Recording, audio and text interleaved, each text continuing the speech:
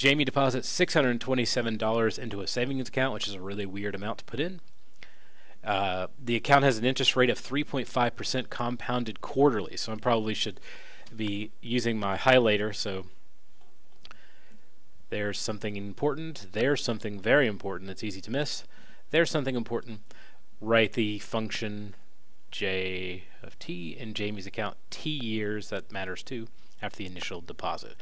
Now, this amount is increasing by 3.5%. I've said this before in other videos about exponential, but it might need repeating. If I have $100 and I want it to go up by 5% each year, then I can't just multiply 100 by 5% and get 5. Because if I was expecting to get 5% interest on something and I come back to you a year later with my expectations of receiving more than I uh, put into the account in the first place, and you'd said, "Hey, uh, just kidding. Here's five dollars," that would make me really mad. But five dollars would be exactly what I would get if I multiplied 100 by 5% or 0.05. In order to adjust for this, I need to have something in place to remind myself that I need to keep the money I already had and then add the 5%. So we say 100 times itself plus 100 times 0.05. And to make that work using the distributive property, we just kind of hack that part of it out and we say 0.05 and that's 5% annual interest and then you can do it for however many years that you want to do it. I say all that to say this. This is kind of how it's going to work with the 3.5%. So that part should be easy to set up. Start out with the name of your uh, function, j of t. And then I want to start out with, uh, not, you can't start out if you've already started out. I want to go to my initial amount in my savings account. One, we're assuming it's increasing since it's not something, it's not a debt or something. So plus 0.035, don't put 0.35, that would be 35%. It'd make it seem like you're making a lot of money. And you'll notice that I put this bar underneath. What's up with that?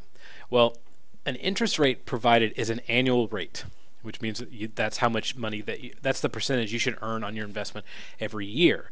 You'll notice here that we've identified this savings account as giving you interest quarterly, which means that four times per year you are assessed some value of interest towards your account, which is kind of nice. But in order to do that, I need to make an adjustment.